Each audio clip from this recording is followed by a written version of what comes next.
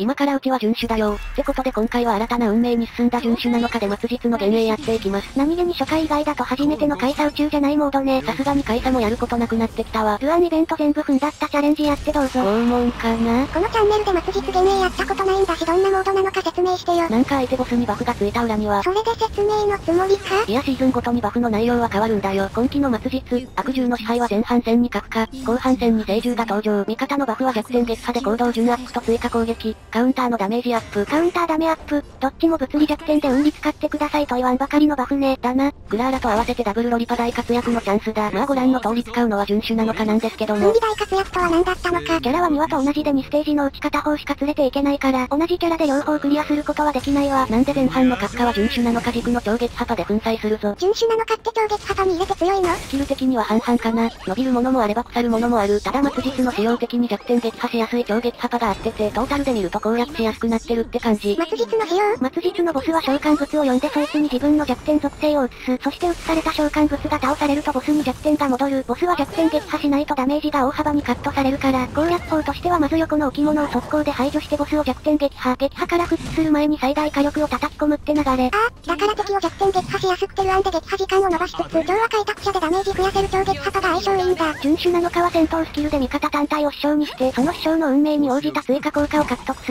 ここで師匠にしているのは北条のギャラガー。北条を師匠にしたなのかは作人値が100%アップ。さらに奇跡の追加能力によって師匠の属性と同じ弱点を持つ敵の人生を削れるため、その気になればどんな相手でも弱点撃破することが可能。これだけでも撃破しないと始まらない超撃破パに入れる価値があるぞ。そっか、戦闘スキルの対象を変えたら事実上どんな属性にもなれるんだ。量子止めみたいな属性統一がシナジーあるのは当然として、属性を複数混ぜることでいろんな敵に対応できるようになるの面白い。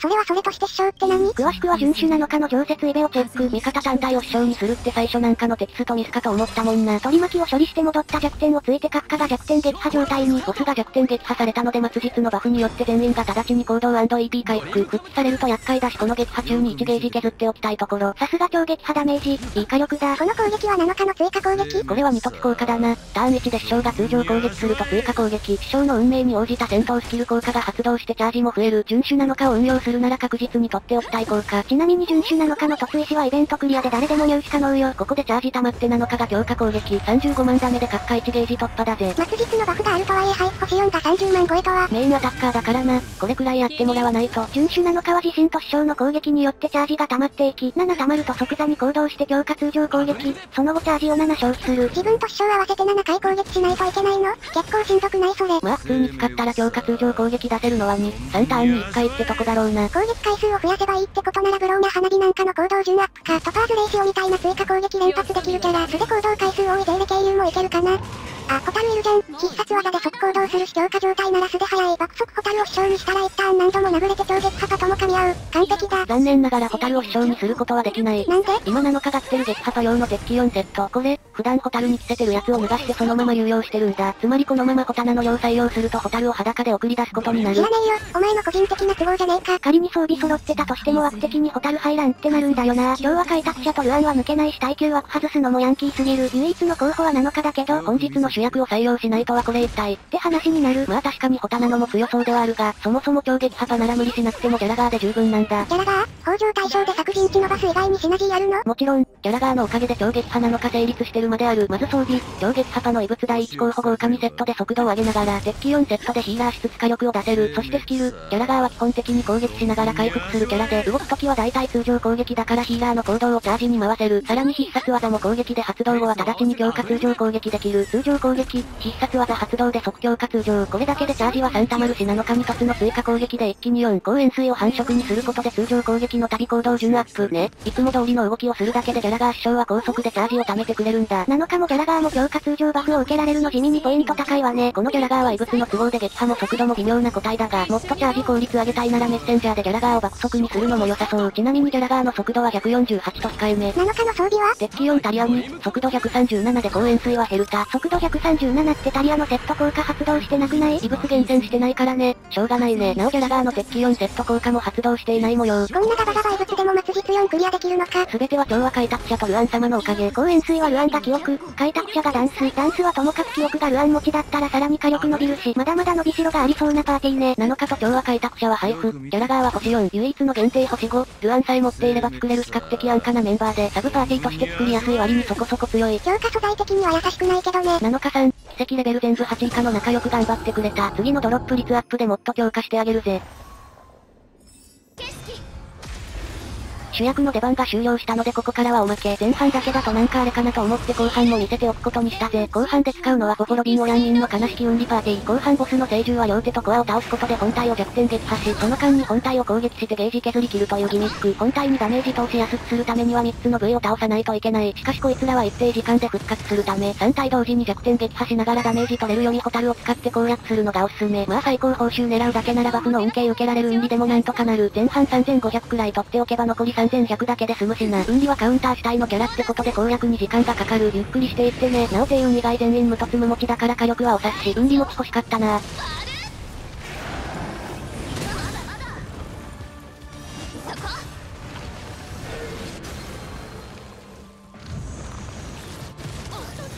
輪を持って尊しとなすはっ動じないで勝負を決めるのは必要砲丸を持ってみるべし。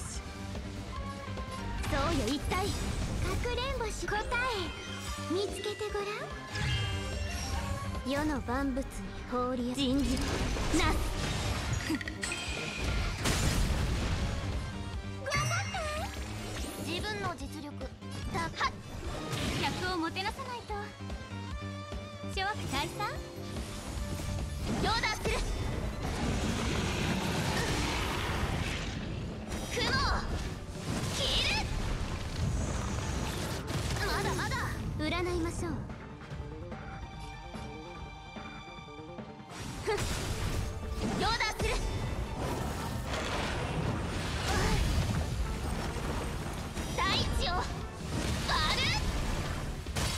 輪をもって尊しとなす。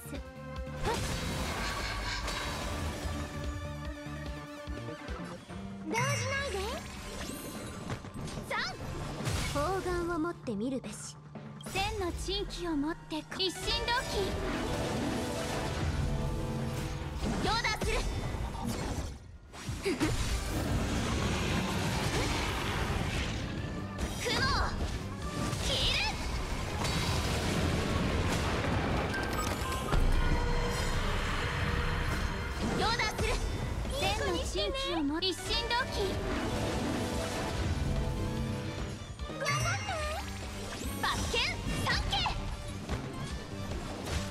景客をもてなさない諸悪退散世の万人事なす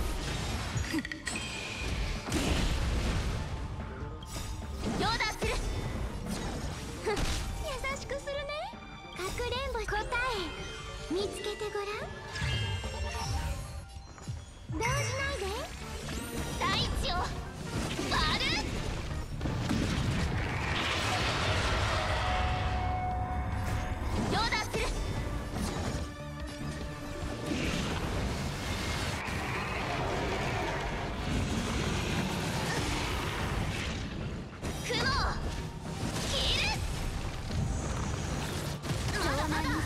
を持って尊しとなす。